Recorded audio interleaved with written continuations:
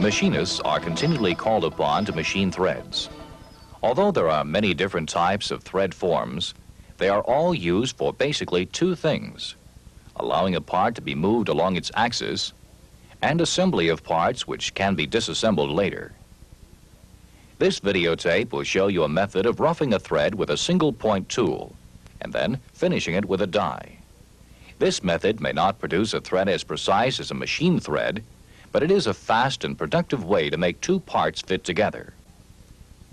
After viewing this videotape, you will be able to write down the safety procedures to be observed in the machine shop, list the setup procedures and rough cutting machine threads, and list the procedures for finishing a thread using a die or thread chasing nut.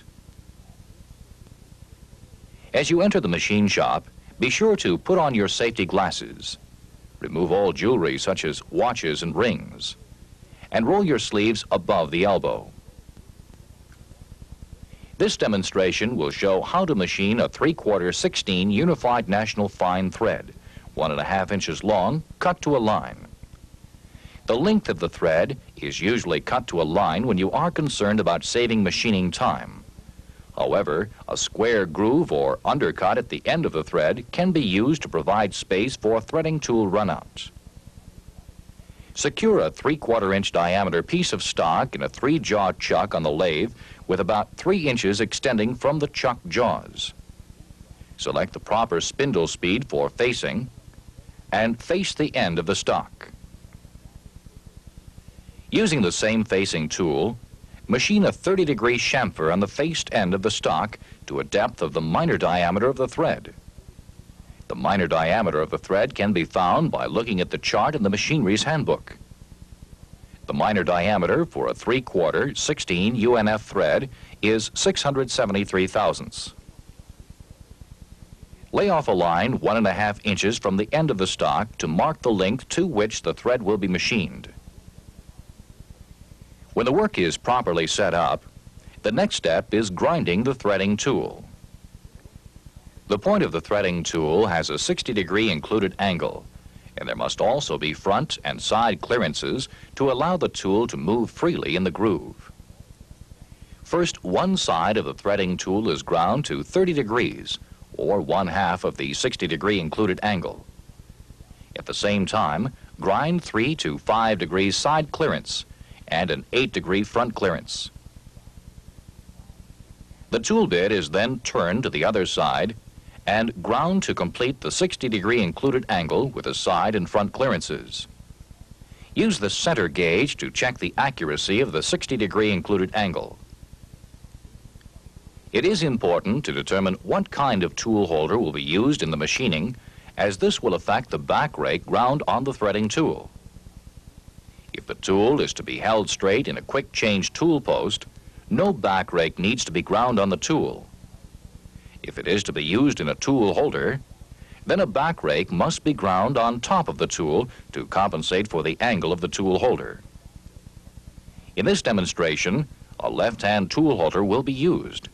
Therefore, the top of the tool will be ground 14 and a half degrees in order to end up with a zero degree back rake. The next step is setting up the threading tool on the lathe.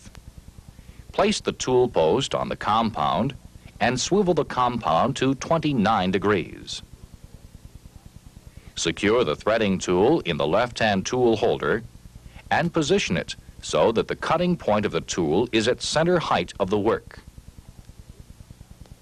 The center gauge is now used as an alignment tool.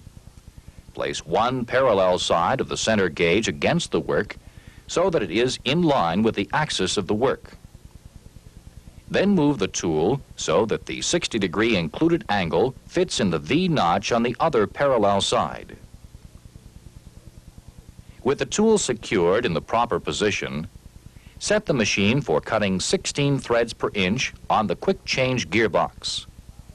Since the carriage will be traveling at a very fast rate in comparison to the feed, it is recommended that inexperienced operators reduce the spindle speed to about 25 to 50 RPM.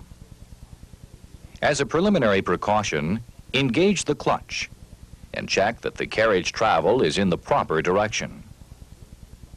Using the crossfeed and the carriage, move the tool to the end of the work and pick up a cut on the work diameter. Set both the crossfeed dial and the compound dial to their zero readings.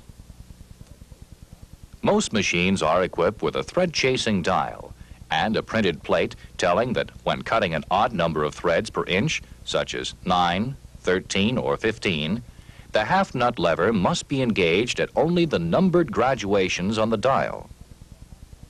If you are cutting an even number of threads per inch, such as 8, 10, or 12, the half nut lever can be engaged at any of the graduations on the dial. In this demonstration, you are cutting an even number of threads per inch, 16. Therefore, the half nut lever can be engaged on any line of the thread chasing dial.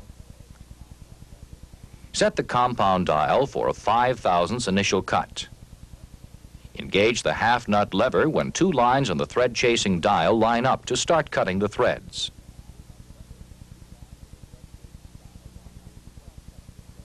Observe closely so that the threading operation can be stopped at the proper time when the cutting tool reaches the line. Disengage the half nut lever and at the same time back out the crossfeed. This stops the thread on the line.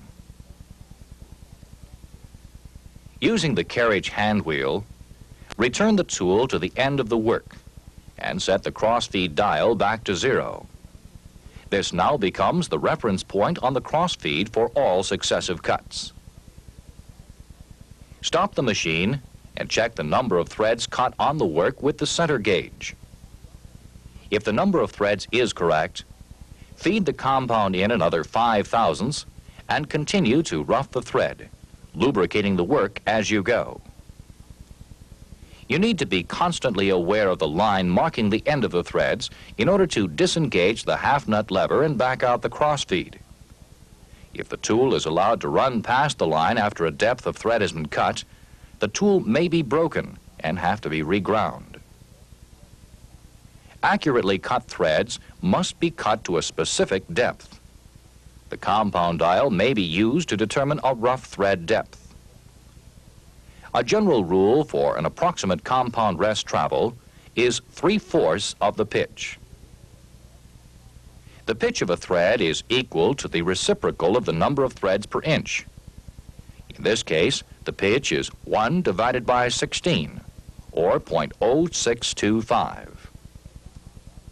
To calculate the compound travel, use the formula 3 fourths times the pitch, or 0.75 times 0.0625 equals 0.0468, or rounded off to 47 thousandths.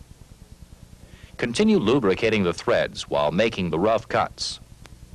As the thread depth increases, it may be necessary to reduce the compound feed to about 2 or 3 thousandths for a better finish on the thread. When the compound dial registers a reading of 47 thousandths, the threads will have been rough cut to the proper depth. Most compound dials are direct reading, which means the reading on the dial is equal to the amount of travel of the compound. In cases where the dial is not direct reading, you will have to use twice the calculated travel in order to arrive at the desired compound rest reading. When the thread is roughed, move the threading tool out of the way toward the headstock. The threads may then be finished to size by using an adjustable die or a hexagon rethreading die, also called a thread chasing nut. The thread chasing nut speeds up the finishing operation since it has been previously ground for a given size thread. However, it should not be used to remove more than 5 to 10 thousandths of material from a thread. The hexagon rethreading die will be used to finish the 3 quarter 16 threads to size in this demonstration. Start the die on the end of the thread and apply a generous amount of lubricant on the threads. Use a large adjustable wrench to run the die onto the thread. One way of running the die onto the thread is to set the spindle RPM to a low setting This prevents the spindle from turning. Now, turn the die by hand. Another and perhaps faster way is to place the spindle in neutral and support the wrench holding the die on the compound. Then, turn the work in the chuck by hand. This same method of holding the die with a wrench and turning the work in the chuck by hand may be used in reverse to remove the die. Some operators may prefer to use power when running the thread chasing nut on or off the work. But power should be used only with great caution and only by an experienced operator. To review this videotape, you have seen the safety procedures to be observed in the machine shop and the steps to follow in roughing and finishing threads on the lathe using a single point tool and a thread chasing nut. These are the steps to follow. The end of the workpiece to be threaded must be faced and the end chamfered to a 30 degree angle to a depth equal to the minor diameter of the thread. The threading tool must have an accurately ground 60 degree included angle with the proper front and side clearances. The setup of the threading tool is critical for accurate threads and must be aligned with a center gauge. You need to know when to engage the half nut lever when cutting even or odd number of threads per inch and when to disengage the half nut to prevent damage to the threading tool. When the thread has been roughed to the proper depth, the finishing cuts are made with a rethreading die. This method of roughing a thread with a threading tool and finishing with a rethreading die will produce a part which is interchangeable.